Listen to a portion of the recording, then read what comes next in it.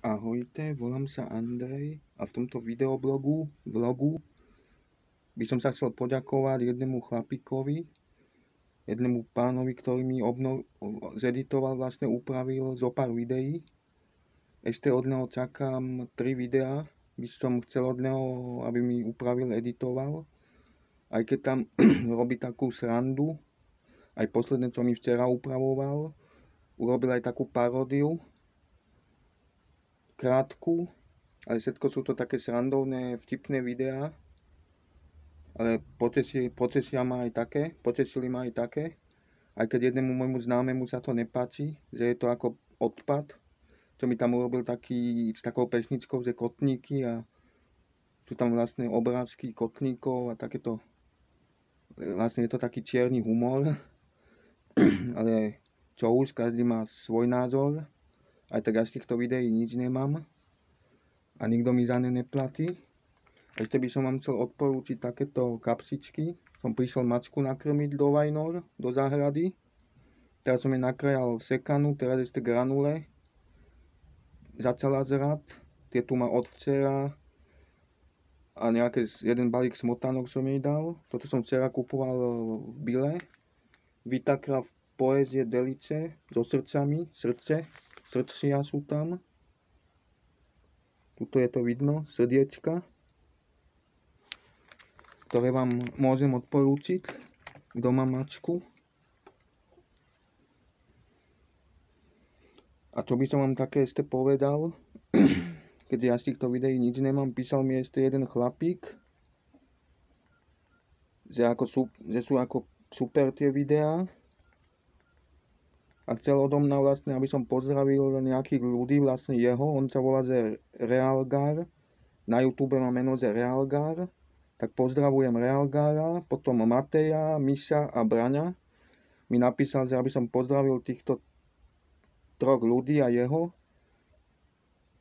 Takže pozdravujem Realgára, Mateja, Misa a Braňa. Aj keď peniaze mi nikto nedá za pozdraví, ale čo už tak ich pozdravujem.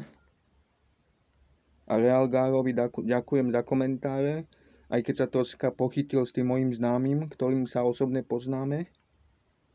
Ale čo už narobím? Lebo jemu sa to video upravené nepáčilo, že to je odpad a takéto veci s tými kotníkami. A on to tam dobre napísal, že 100 ľudí 100 chutí, ten Readgar. Tak nevadí. A ešte som chcel od neho nejaké e-shopy, aby mi upravil, zeditoval s nejakými pesničkami, aj keď meč mi nikto zadarmo nedá. A zase mi nejaké číslo dneska vyvolávalo už dvakrát. A na SMS-ky neodpisuje. Mal som ešte nejaké veci vybaviť na úrade, ale z technických príčin majú dneska zatvorené 31.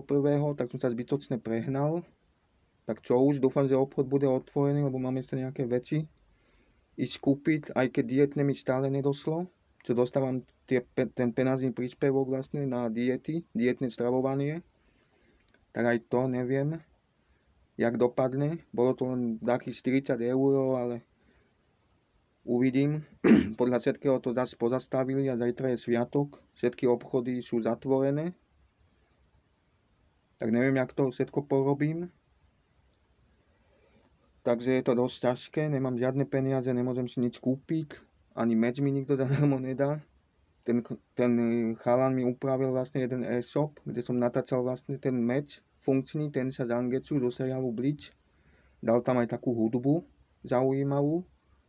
A to som natáčal vlastne Fantasy Store, chladné zbrané a zbrojniča. Odkazy som dal pod video, a ešte som chcel od neho nejaké e-shopy a inzeráty na bazoši, čo natáčam jedného známeho. Ale zatiaľ mi neupravil žiadne videá. Asi nemá čas, lebo neviem, iba včera mi upravil také jedno, ale tam tie si robí srandu, tie ako tam hovorím o peniazoch a on to tak upravil, ten chlapík. Ale nevadí, čo už. Ja som rád ku každému videu, keď mi niekto upraví alebo tak ale najlepšie a najradšej by som mal také, kde sú pesničky alebo takéto veci, aby som neporušoval autorské práva. aj keď s týmito dvoma videami tam bola ako sťažnosť, ale že to majiteľ povolil, či ako, kde sú tie, hud- tie pesničky a tá hudba, ale to mi je jedno, veď mne aj tak nikto neplatí za tieto videá. Tak to by asi bolo všetko zatiaľ, tak vám teda ďakujem a majte sa pekne, ahojte, čaute.